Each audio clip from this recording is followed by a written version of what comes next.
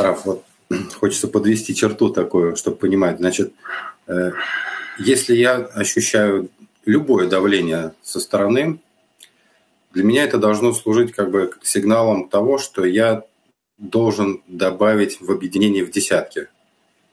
Это правильно?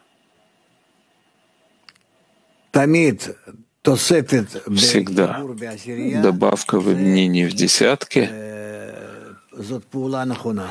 это правильное действие. Вот тогда такой вопрос. Э, выстроены же все действия уже практически у нас. Вот что значит добавить в объединение в десятки, используя те действия, которые мы имеем? То есть я должен как-то э, стараться, стараться выстроить образ Творца между вами, свойства Творца между вами. И это все.